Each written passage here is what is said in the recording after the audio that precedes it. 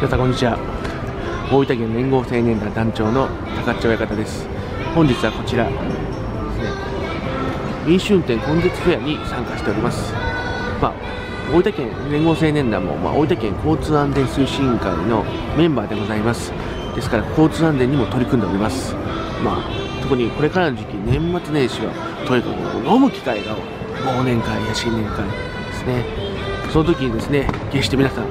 飲酒運転だけはやめてください。これは防げる事故でございます。本当悲惨な事故になりますからね。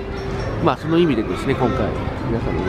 まあ、普及の意味でで幅広く普及ということでこれまではまあ県民大会ということでですねこの建物の中で行ってたものを今回この公共のまあ大分市、ね、祝祭広場もできましたし、まあ、一般の方に PR するフェアとして開催しました。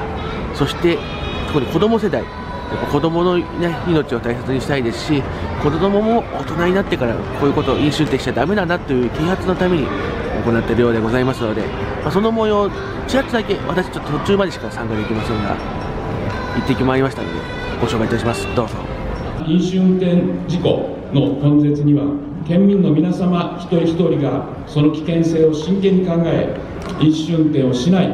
させない許さないという共通の認識を持ちお互いに声を掛け合うことが大切です。実は、えー、県議会の議員提案提案によりまして、えー飲んだらのれん条例通称でありますけれどもこういう形でスタートしていることはもう皆様ご承知の通りであります。飲酒運転根絶宣言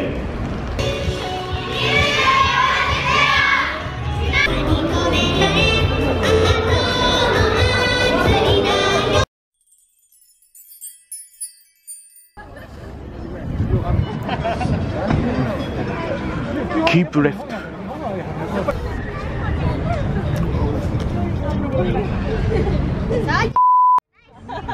ということで、えー飲酒運転根絶フェア、まあ、途中まででございますがご紹介でございます。あの本当にまあこれから申し上げますけど、ね、飲酒運転やめてください。飲んだら乗れんですよ。お酒を飲んだら車にも乗ってはいけませんし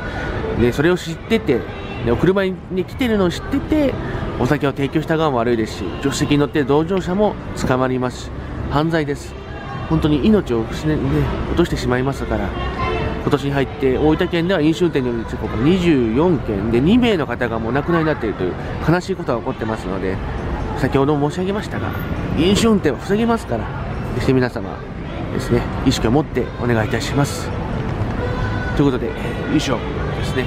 大分県飲酒運転根絶フェアの模様でございました。皆さん飲んだらのれんでお願いいたします。それでは。